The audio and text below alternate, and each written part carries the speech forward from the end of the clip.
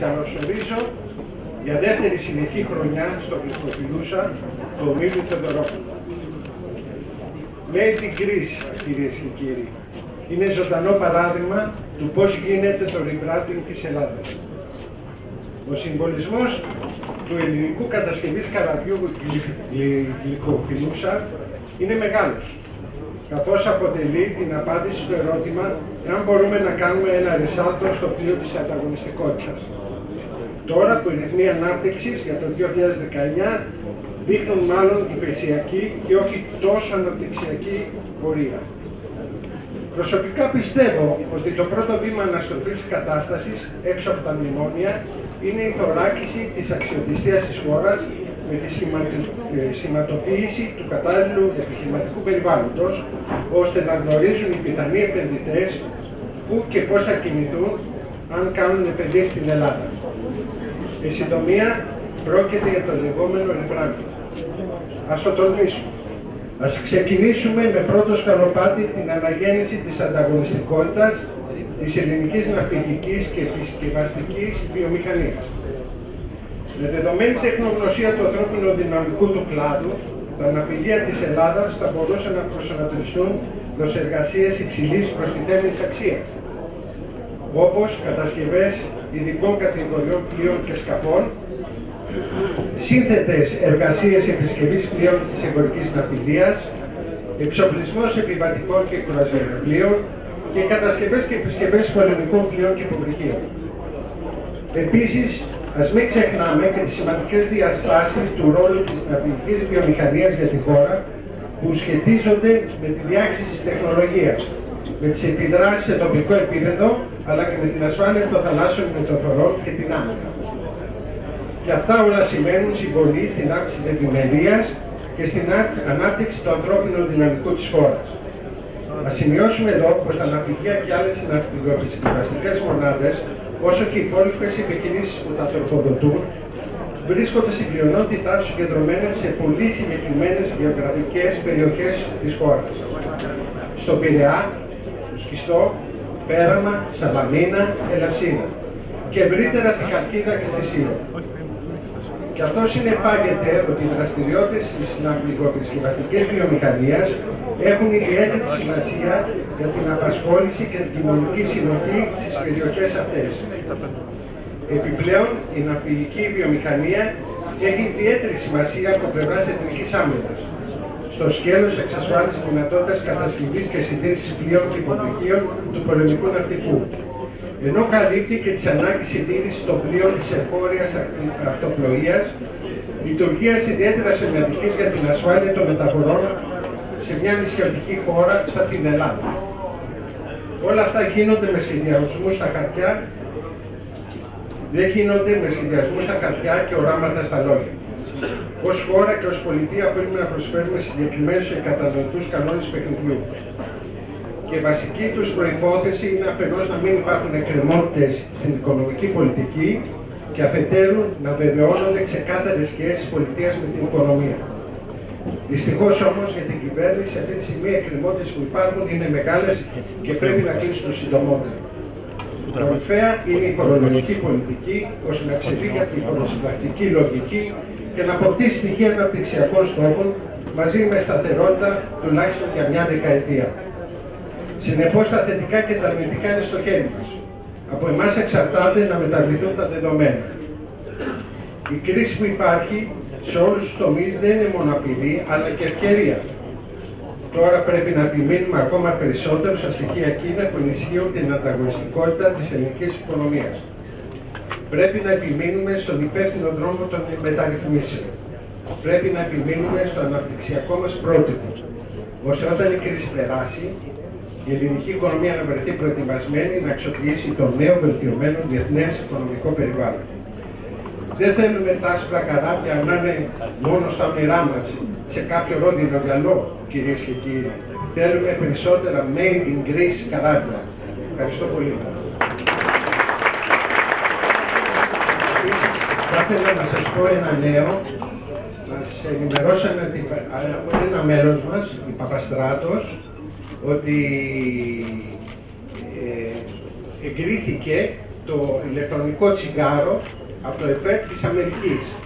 Έτσι ανοίγει για την εταιρεία αγορά 250 εκατομμυρίων, τα οποία θα παράγονται στην Ελλάδα αυτά τα ηλεκτρονικά τσιγάρα.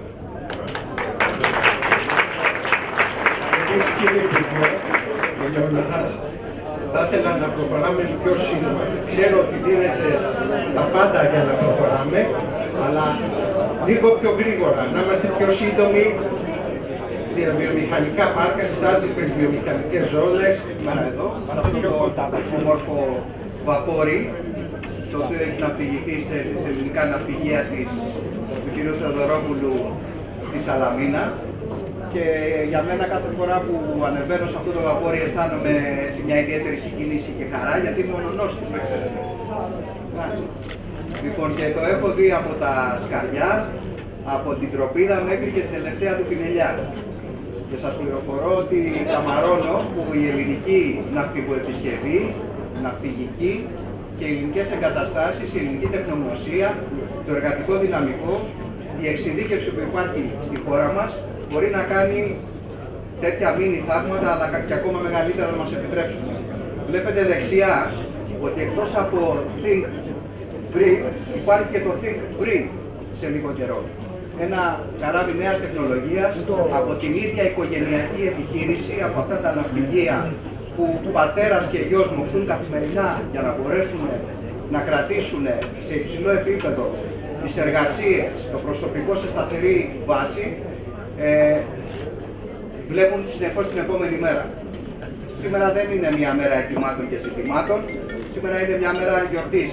Είμαστε μέσα στις ημέρες θάλασσας και τις γιορτάζουμε εδώ στο Πειραιά κάθε χρόνο με πρωτοβουλία του Δήμου και με τη συμμετοχή όλων των φορέων της ε, πόλης που αγκάλιασαν από την πρώτη στιγμή, από το 2015 που ήταν η Παγκόσμια Μέρα Θάλασσας ε, μέχρι τώρα και θα πάει πολύ μακριά αν θέλετε έτσι αυτή, αυτό το ταξίδι. Ε, τις ημέρες θάλασσας τιμώντας ε, όχι μόνο την ελληνική ναυτιλία, τον Έλληνα ναυτικό, την αυτοσύνη, ε, την απειγοεπισκευή, τα παραναυτιλιακά επαγγέλματα, αλλά τιμούν τον πολιτισμό, τιμούν τον αθλητισμό, τιμούν, αν θέλετε, όλους αυτούς τους ανθρώπους που δούλεψαν για να μπορέσουμε σήμερα να καρποθούμε όλα αυτά τα αγαθά που έχουμε στη διάθεσή μας και πρέπει να τα αξιοποιήσουμε στο έπακρο, ειδικά μετά από 9 δύσκολα χρόνια. Είναι γεγονός ότι η ναυτιλία μας προσφέρει πάρα πολλά, είναι ένας βασικός πυλώνας της οικονομίας.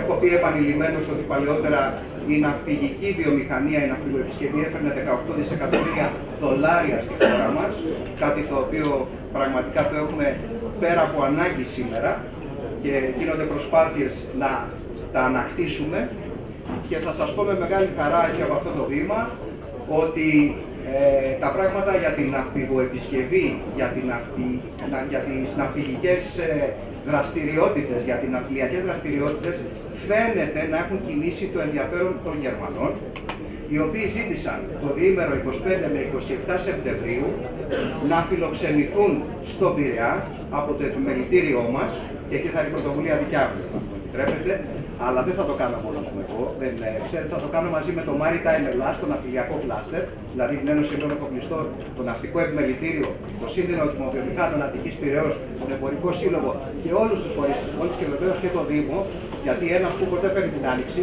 και πρέπει να υπάρχει συνέργεια, όχι να το λέμε, να το αισθανόμαστε και να το κάνουμε πράξη. Δεν έχει να πάρει κανείς κανένα βραβείο, το αποτέλεσμα είναι το βραβείο μας. Και έτσι πρέπει όλοι μαζί να πορευόμαστε και όταν λέμε τη λέξη συνέργεια, να την εννοούμε και να την κάνουμε πράξη. Και αυτό θα κάνουμε στις 25 με 27 Σεπτεμβρίου. Θα φιλοξενήσουμε 100 γερμανικές εταιρείες υψηλής τεχνολογίας της ναυτιλίας, κοιτώντας τους στα μάτια. Ότι μπορούμε και εμείς να έχουμε αυτό το επίπεδο το τεχνολογικό, υψηλής τεχνολογίας και δεξιοτήτων, ώστε να μπορέσουμε και εμείς να τους δείξουμε πράγματα που μπορούμε να κάνουμε και να έρθουν να τα κάνουν στην Ελλάδα που μπορείς ίσως να τα κάνουν και καλύτερα. Δεν θέλω να πω κάτι περισσότερο γιατί ε, χαίρομαι ειλικρινά για αυτή τη συνάντηση σήμερα. Γίνεται κάθε χρόνο και χαίρομαι που είναι πάρα πολύ και εκλεκτοί φίλοι εδώ. Ε, την άλλη φορά να σας να έχετε και το πάνελ του επιμελητηρίου εδώ πέρα πίσω. Γιατί το βάλατε στην πρόσκληση, αλλά δεν το έχετε βάλει εδώ. Ε, για να λέμε και τα πράγματα όπως πρέπει, για να είναι άρτια η οργάνωση. Λοιπόν, και να σας ευχηθώ Χριστός Ανέστη χρόνια πολλά, κάθε καλό και πάνω απ' όλα υγεία για να μπορέσουμε μαζί να κάνουμε πάρα πολλά πράγματα που μπορούμε. Ευχαριστώ. Ευχαριστούμε πάρα πολύ που ήρθατε σήμερα και μας τιμήσατε για μια ακόμα φορά. Θεωρώ ότι έχει γίνει θεσμός πλέον, δεύτερη συνεχόμενη χρονιά με το ΣΠΑ. Οι μέρες θάλασσας σε πλοίο. Ε, Δυστυχώς δεν προλάβαμε να ετοιμάσουμε το καινούριο μας πλοίο, το Νικοφιλούσα 8. Έχουμε μόνο της φωτογραφίας. Καθώ θα καθελιστεί την επόμενη Τρίτη και δεν ήταν δυνατόν να έρθει σήμερα. Είναι ένα πλοίο ε, νέας τεχνολογίας με χαμηλούς, χαμηλές εκπομπές ρήπων, η οποία ε, πληρεί κριτήρια περιοχών ΕΚΑ, δηλαδή ε, αυτά που θα εφαρμοστούν το 2020 στην Ευρώπη και ειδικά στις βόρειες θάλασσες και στις περιοχές ήδη εφαρμόζονται τη Αμερική. Είναι ένα πλοίο φτιάχτηκε από Έλληνες με ευρωπαϊκές μηχανές γαλλικέ, το ΤΟΕΜ, σχεδιάστηκε στην Ελλάδα. Εργαστήκανε πάρα πολλές οικογένειες. Ε, έχει έρθει εις πέρας και θεωρώ ότι θα είναι το πρώτο πλοίο που φτιάχνεται στην Ελλάδα και πληρεί αυτούς τους κανονισμούς. Ε, οι Έλληνες μπορούν να κάνουν πάρα πολλά. Η Ελλάδα είναι νούμερο ένα χώρα στην ναυτιλία. Δεν νοείται ναυτιλία χωρίς ναυπηγεία και χωρίς ναυτιλοεπισκευαστική δραστηριότητα. Ήθελα καταρχήν να ευχαριστήσω τους ε, οργανωτές για την πολύ όμορφη εκδήλωση. Να ευχαριστήσουμε τον κύριο Θεοδωρόπουλο για την απόψινή φιλοξενία.